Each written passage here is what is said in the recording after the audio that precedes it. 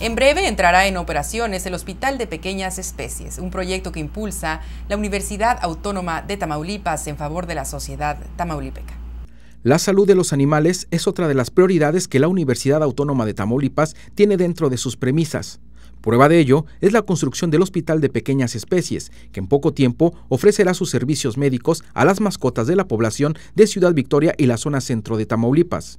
Enclavado en el oriente de la capital, este hospital contará con un completo equipamiento que ofrecerá diversos servicios a mascotas domésticas como perros y gatos, desde estética hasta cirugías y cuidados intensivos, desde consultas hasta hospitalización y sala de urgencias, desde farmacia y venta de artículos hasta laboratorio de rayos X y análisis Tenemos este, varias áreas que se han diseñado para la atención de la que te menciono, que va desde la estética, consulta, eh, quirófanos para el caso de, alguna este, situación de cirugía, eh, emergencias, también vamos a tener un área de infecciosos para lo que es la atención de servicios y algunas otras áreas pequeñas que también van a estar este, eh, funcionando, pero todo quiero que quede claro, digo, está encaminado para lo que es el proceso de enseñanza-aprendizaje de nuestros alumnos. Hospitales de esta magnitud hay pocos en el país y este espacio es único en el estado de Tamaulipas. La idea es que es brindar a la sociedad parte de lo que veterinaria está haciendo, como lo ha hecho siempre.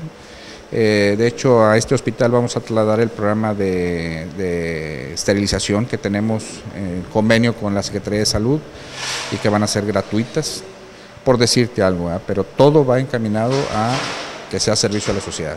El hospital atenderá partos, operaciones de todo tipo, esterilizaciones, atención médica, hospitalización y hasta un área de cuarentena por alguna infección que pudiese tener el animal.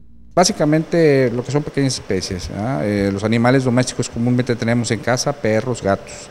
Si hubiera necesidad de atender algún ave, loros, este, conejos, como tú lo mencionas, también podríamos hacerlo. Además, vendrá a fortalecer el trabajo de los médicos veterinarios de la zona, puesto que habrá una coordinación muy eficaz con ellos, además de que los mismos profesionales podrán hacer uso del lugar para atender a sus pacientes. La idea es este, fortalecer el servicio que ellos dan, ofreciéndoles servicios que tal vez sean necesarios para confirmar algún diagnóstico o para apoyar este, su, no sé, alguna cirugía que ellos no practiquen y que podamos ofrecer nosotros aquí en este hospital. Este hospital lleva un avance en su construcción del 95%. Falta el equipamiento, el cual conlleva la más alta tecnología y además será un lugar de prácticas para alumnos de la carrera de veterinaria. Los servicios que se van a ofrecer aquí en este hospital ah, van a ser servicios de medicina, cirugía eh, para perros y gatos inicialmente. se hace una invitación a la sociedad para que eh, aproveche esta oportunidad de atender a sus mascotas. Su apertura al público estará para finales del mes de septiembre. Los costos serán accesibles y atenderán al público en general. Con ello, la Universidad Autónoma de Tamaulipas, a través de la Facultad de Medicina, Veterinaria y Zootecnia, se pone a la vanguardia en el cuidado de animales y también fortalece su vinculación con todos los sectores de la sociedad.